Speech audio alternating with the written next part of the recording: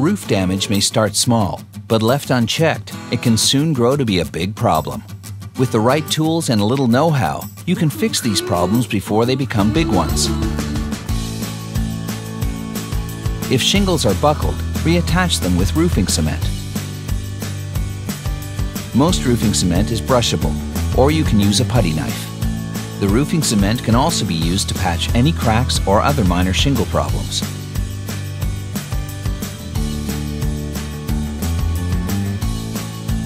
A pry bar is a must for replacing multiple shingles. Pry up the nails, but be careful not to damage any shingles that may be in good condition.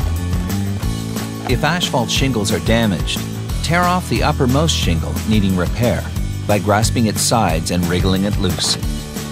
If you're replacing multiple shingles, start with the highest one, removing all damaged shingles the same way.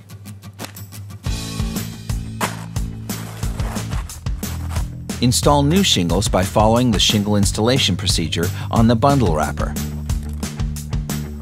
You may be able to drive a couple of nails into the shingle by gently lifting the overlapping tabs of the other shingles. With your roofing cement, coat the top of the new shingle above the seal line. Press the shingle down firmly to embed it into the roofing cement.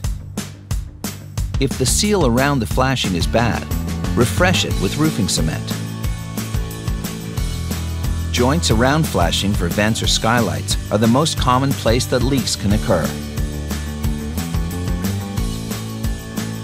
Drive roofing nails into the flashing to hold it in place and cover the nails with roofing cement.